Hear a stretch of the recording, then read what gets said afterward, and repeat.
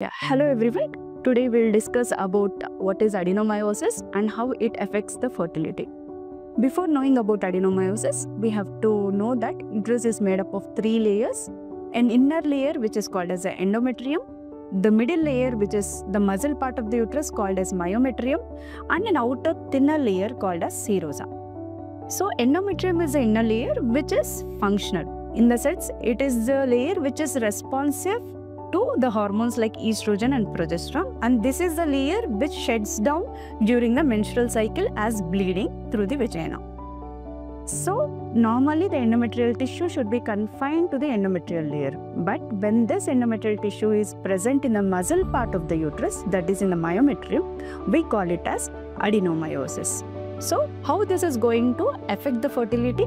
Because the endometrial tissue is a functional tissue which is responsive to the hormones. When this tissue is present in the muscle of the uterus, it also becomes responsive to hormones like estrogen and progesterone and it also starts to bleed during the menstrual cycle. But because there is no outlet to go, as in case of normal menstrual cycle, this gets accumulated within within the muscle of the uh, uterus and this leads to increase in the thickness of the muscle of the uterus. So this we call it as adenomyosis.